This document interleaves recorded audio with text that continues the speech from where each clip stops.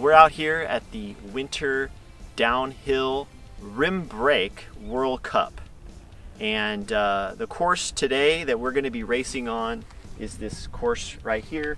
It's a four mile downhill section. It has 1,000 feet of vertical drop on this course, which is 328 meters over 5.7 kilometers.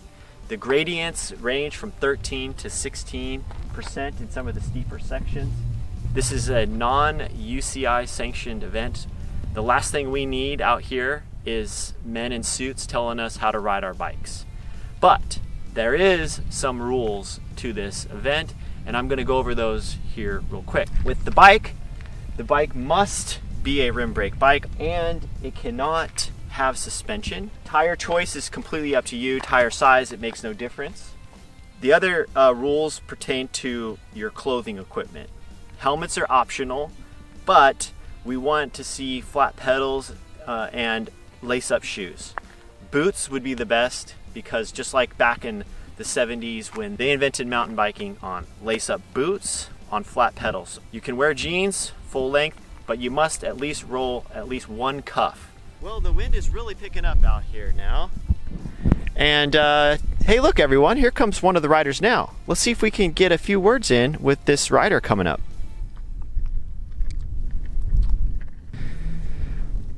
All right, as this rider makes his way up, uh, this is Axel. He's actually one of the local legends out here. So, how was your run, Axel? Tell us a little bit about what it was like doing this course today. It was an excellent, excellent course out there, everyone. So psyched right now. I am, this is just such a great course. I see that you're using a quite an interesting set of equipment today. Do you mind just talking a little bit about the choices you made and uh, why you're running this specific uh, equipment you have? For sure. Uh, but before I do, I really got to say thank you to all my sponsors, and I especially want to thank Red Bull for stocking up all my local convenience stores here. It really makes it easy for us to get out here with our psych juice and do these events. So, what I have is a custom made downhill rim brake racing bike that I had made locally specifically for this course. And uh, for my for my cycling kit here, I do have a Aero jersey on because it does help a little bit, but to stay within the spirit of this event, I am running the cutoff jean shorts and but most importantly, most importantly, I'm running the clipless boots. Now, these clipless boots I had made just for this event. They have clipless cleats on them, but then when you're hitting and you're shredding through the corners on this course, you can still get your boots out and slide the corners like you need to to win this kind of event. Well, thank you very much for your time, Axel. And, uh, oh, wait, hold on one second here. I'm just getting word in from the race organizers is that right? Well, congratulations, Axel. It looks like you are currently in the lead of the race overall.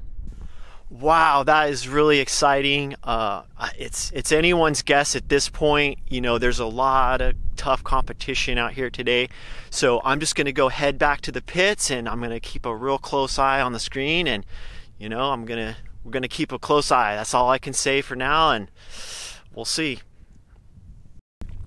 This is coming down to a very close race, everyone. We have the next rider up, the next and final racer today. It is the one and only Miss Cools. Now, for some of you out there, you may have heard her name before. She comes from randonneuring, but has really developed an, an acute sense and skill for downhill rim brake gravel racing.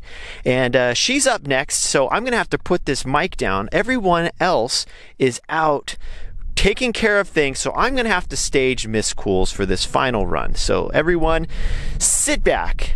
This is going to be a real close race, and uh, let's see what Miss Cools can do today.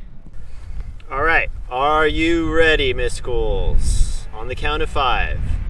Five, four, three, two, one, go.